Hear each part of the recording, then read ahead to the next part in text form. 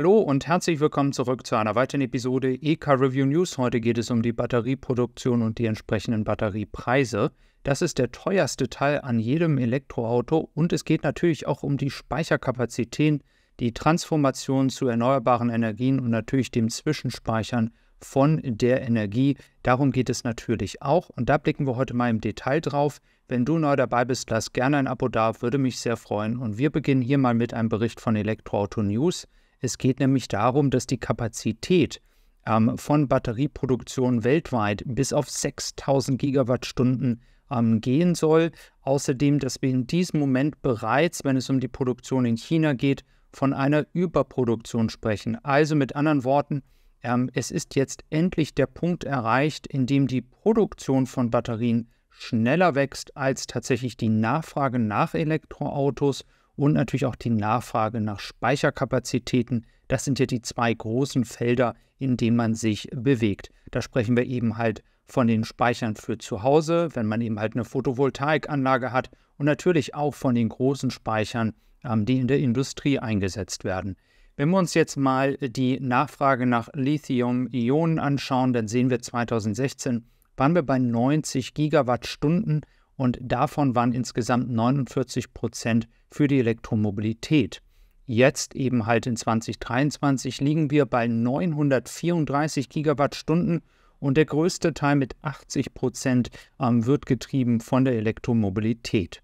Natürlich muss man immer hier auch wissen, dass es nicht nur um rein elektrische Fahrzeuge geht, sondern natürlich auch ein Hybridfahrzeug eine Batterie enthält und somit natürlich ähm, diese 80 Prozent Nachfrage, die es hier gibt, auch Hybridfahrzeuge enthalten wird.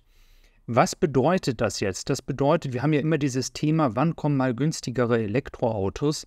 Wenn erstmal skaliert wird, fallen die Preise. Das ist logisch. Und natürlich, wenn jetzt noch ein zusätzlicher Preiskampf kommt, dann wird das natürlich noch interessanter für den Kunden.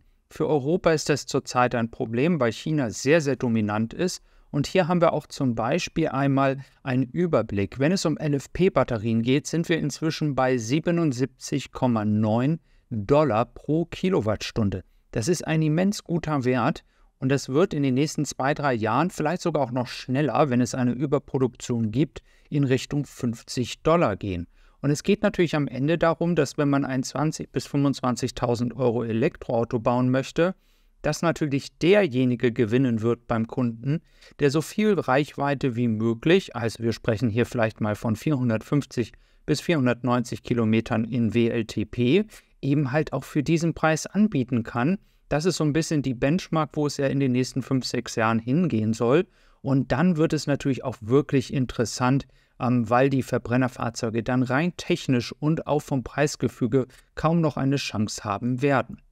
Dann haben wir hier natürlich nochmal die Anteile, wenn es um die verschiedenen Autobauer geht, wie viel Prozent der gesamten Neuzulassungen, die sie haben und der Flotte, sind tatsächlich rein elektrisch. Man muss fairerweise sagen, Bloomberg nimmt hier auch in den Statistiken Hybridfahrzeuge rein, deswegen ist es etwas höher bei einigen Magen, als es in der Realität eigentlich ist, wenn man sich auf rein elektrische Fahrzeuge konzentriert. Natürlich ist Tesla nicht dabei, die sind zu 100% elektrisch, auch Polestar genau das gleiche Spiel. Sowie auch zum Beispiel Rivian ist nicht dabei, die ja auch 100% elektrisch sind. Also die hat man jetzt hier erstmal rausgelassen. Ähm, aber man sieht auch bei VW und der gesamten VW-Gruppe haben wir jetzt inzwischen einen Wert von 10% erreicht. Und dafür, dass eben halt VW zu den größten Autobauern der Welt gehört, ähm, ist man doch schon einige ähm, Meter weiter als zum Beispiel Toyota. Dann geht es natürlich auch um die Investitionen weltweit. Und jetzt sehen wir den Effekt in diesem Moment ja erst aus China, die eben halt eine Überkapazität haben, was die Preise senken wird. Jetzt ist aber noch gar nicht der Faktor der USA mit eingespeist. Wir wissen, dass auch in Deutschland massive Förderungen Northvolt gegeben werden. Das wird immer viel kritisiert, weil man sagt, naja, da kommt ja keiner mehr nach Deutschland, keiner will mehr investieren. Naja, grundsätzlich wollen sie investieren, aber sie gehen natürlich dahin, wo die größten Förderungen sind. Und da kann man ganz wenig machen, außer dass die EU sich richtig mal zusammenreißt und auch ein Investitionsprojekt jetzt startet. Denn in den USA werden, und das ist der reinste Wahnsinn, 72 Milliarden Dollar nur in die Batterieproduktion investiert, das sind bereits Dinge, die durch die Förderung zugesagt sind. Das ist ja absoluter Wahnsinn, wenn man sich das überlegt, wie viele Batterieproduktionen hier also in den USA entstehen werden. Und das ist natürlich auch politisch gewollt, weil man sich hier unabhängiger von China machen möchte. Und all das zusammen führt natürlich zu der Frage, ähm, wann wird es günstiger für Elektroautos als Verbrenner? Das ist in vielen Fällen bereits der Fall, wenn man sein Elektroauto auch richtig nutzt und entsprechend auch vielleicht zu Hause laden kann. Und selbst wenn man nicht zu Hause laden kann, kann es in vielen Fällen je nach Modellvariante bereits der Fall sein. Entscheidend wird natürlich der Fall sein, wann ist es dann auch beim Kleinwagen der Fall. Und wir haben natürlich jetzt noch einen erst entstehenden Gebrauchtwagenmarkt. Auch das ist ja so ein Thema. Gebrauchtwagen im Elektroautobereich, ganz neuer Markt, hat ja so in dieser Masse noch gar nicht ähm, existiert. Der wächst ja jetzt erst. Und so hat man im Verbrennerautomarkt natürlich viele Gebrauchte, die man natürlich noch günstiger bekommen kann als jetzt ein Neuwagen, als elektrischen Neuwagen. Das ist vollkommen klar. Aber ein Kleinwagen, und da haben wir ja bereits drüber gesprochen, wie der Citroën EC3 oder jetzt kommen ja auch viele andere Modelle in dem Segment zwischen 22.000 und 28.000 Euro.